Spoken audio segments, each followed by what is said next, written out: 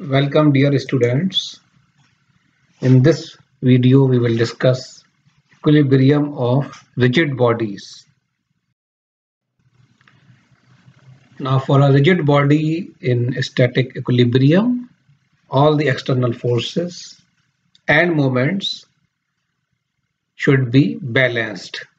That means that there should be no translatory motion as well as no rotatory motion. So as in the case of particles, uh, when we studied the equilibrium of particles, uh, then we see that uh, there is no unbalanced force and all the resultant forces should be zero. Similarly, for a rigid body to be in equilibrium, the necessary and sufficient condition is that all the forces and moments should be zero. The resultant of all the forces and resultant of all the moments should be zero. That means summation of all the external forces should be zero. And similarly summation of all the moments at a particular point should be zero.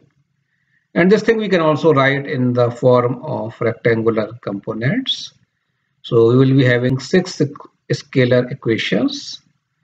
So for forces, summation of fx should be 0, summation of fy should be 0, summation of fz should be 0. Similarly for moments, summation of mx, summation of my and summation of mz should be 0. Now first step to solve the rigid body equilibrium problems is to prepare a free body diagram okay? So suppose this is the figure this is our rigid body okay? So first step is to uh, prepare a free body diagram okay? So this is the actual figure and now what we have to do we have to select the extent of the free body and detach it from the ground and all other bodies okay? So here we have prepared a free body diagram and we have detached the bodies from here. So because our body is connected here but we have detached it and now we have to indicate the point of application magnitude and direction of external forces including the rigid body weight. So we have to show all the forces okay? So for example uh, here a weight is hanging so we have to show this force. Then we have some weight of the body so that can be applied at the center of gravity. So this is shown here. And then we have some reaction forces. So this is a roller type of support. So here we have uh, this reaction. And uh, here we have this type of reaction okay? So we have to indicate the point of application and assume direction of unknown applied forces. If we do not know the direction of any force then we have to assume some direction. And then we have to show the direction of unknown applied forces. These usually consist of reactions through which the ground and other bodies oppose the possible motion of the rigid body. So you have to identify and the uh, reaction forces means from where the reaction forces might act and you have to assume some direction for that and then you have to show on the free body diagram. Then include the dimensions necessary to compute the moments. So because whenever we are calculating the equilibrium problem then we need to calculate the moment and equate it to zero. So we need dimensions. For example in this case we have these dimensions 2 meter and 4 meter and this 1.5 meter.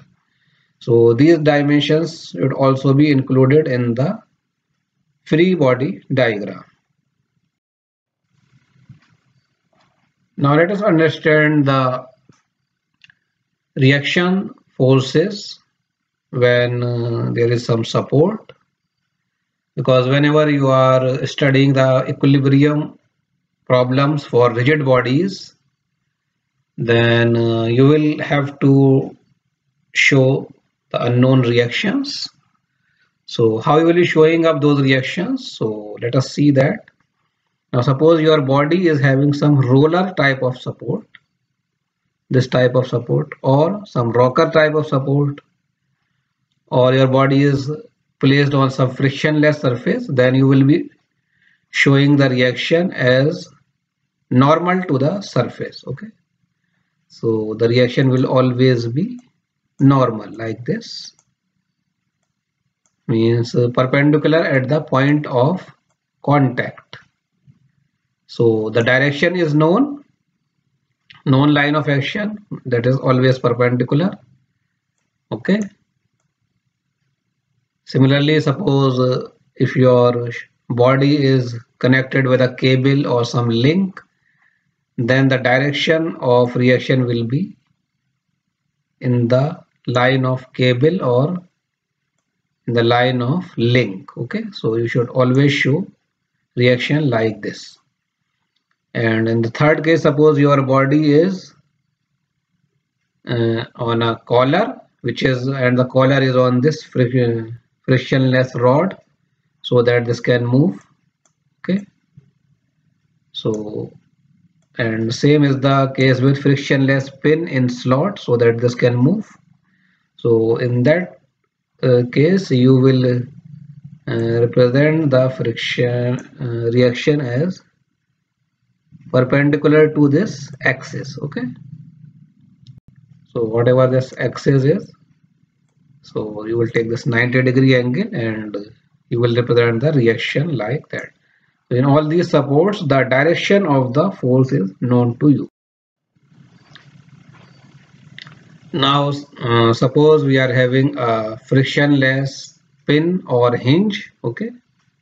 So your body is placed on a frictionless pin or hinge or it is simply placed on a rough surface okay so in that case the direction is unknown. Okay so you have to represent the reaction force by uh, f for which you do not know the direction. Okay so this alpha is unknown. Okay and uh, you can also break into the components. So suppose if this is your f then this is will be fx and this will be f by y. So in these type of supports you have to show reaction force like this.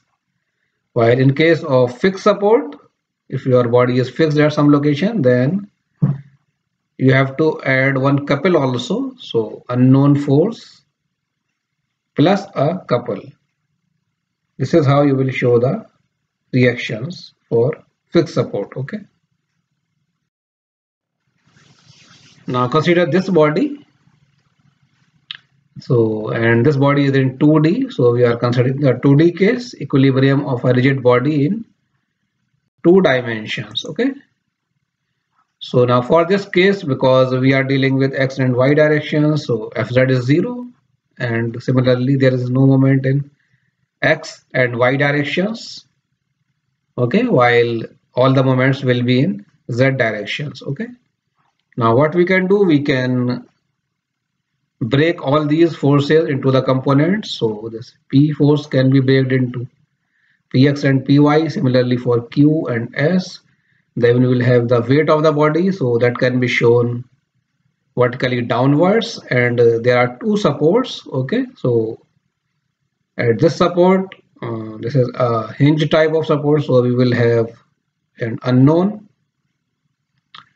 and, direction force so which we can show by two components okay? And uh, this is a roller type of support so for roller type of support we have just seen that the re, uh, reaction force is perpendicular. So now we have uh, uh, placed all the forces okay? Now there are three equations that will be formed with three unknowns okay so these are summation of fx is 0, summation of fy is 0 and the summation of m at any point. So in this case we have considered a point. So summation of a is equals to 0. Now what we can do, we can uh, always uh, use some another equation also so we can replace a summation of fy with summation of mb so so always three equations should be there okay? Uh, we cannot use four equations but only three equations. But uh, we can uh, replace the equation okay? So we can replace uh, fx also. In place of fx we can use summation of fy0 summation of ma is equal to 0 and summation of mb is equal to 0 so in this case we can find the unknown forces. Some forces are known some forces are unknown especially reactions so you can find the unknown reactions. Now in some cases some statically indeterminate reactions are formed. So there are three cases. So as you can see in the first case uh, in this case more unknowns than equations. Okay? So you will be having four unknowns but you can only form three equations. So we cannot solve this type of problem. Similarly in this case fewer unknowns than equations. So again we are having fewer unknowns than equations. And this is partially constrained okay? So this figure is partially constrained means in some direction its movement is not possible okay? So suppose uh, uh, you can see here we are having px qx and sx but uh, there is no force in the uh, negative x direction okay? So this is partially constraint. Here we are having no reaction force okay? No reaction force which can balance these forces okay? And uh, similarly uh, we have again in the third figure also. Equal number equations and uh, unknowns but improperly constrained okay? So again we do not have any reaction force in this direction okay? So these type of problems are not possible to solve. Now let us solve a problem uh, related to equilibrium of rigid body so this is the same figure which we have discussed and uh, we have also uh, prepared the free body diagram okay so this is our problem. A fixed crane has a mass of 1000 kg. So mass of this crane is 1000 kg. And it is used to lift a 2400 kg crate. So this crane is used to lift this weight which is 2400 okay? It is held in place by a pin at A. So here we are having a pin support while at B we are having a rocker support okay? The center of gravity of the crane is located at G. So this is the center of gravity okay and we have to determine the components of the reactions at A and B. And this should be the solution procedure. Create a free body diagram. Then determine B by solving the equation for the sum of the moments of all forces about A. Then determine reactions at A by solving the equations for the sum of all horizontal force and vertical forces and then check the values obtained. Okay. So let us see the solution. So this free body diagram we have already uh, made in the previous slides also. So we are using same free body diagram. So this is the weight this is the weight of the crane this is the weight which crane is lifting. So both will act downward. And uh, at the pin support we will be having two reactions while at the rocker support we will be having only one reaction okay? So now first step is to equate the moment at a equals to 0 okay? So this is our a point okay? Now at a point we will be having the moment of this force this force and b okay? Now the moment of this b will be uh, uh, Uh, uh, this is our a okay? So b will rotate in the anti-clockwise direction. B rotate in the anti-clockwise direction. So this is positive. And the moment of these forces are in clockwise directions okay? So they are negative. So b into 1.5 this is the 1.5 distance. And 9.81 into 2 while 23.5 into 6 this distance okay? So when you solve this uh, equation you will get b is equal to 107.1 k newton. Now we will take summation of fx is equal to 0 so in the x direction we have only two force ax and b. So ax plus b should be 0 from this you can get a as minus 107.1 kilonewton. Now this minus sign means that ax should act in this direction okay? Ax will act in this direction. And similarly you can calculate a by y equating summation of fy is equal to 0 then in the y direction we have ay in the positive okay?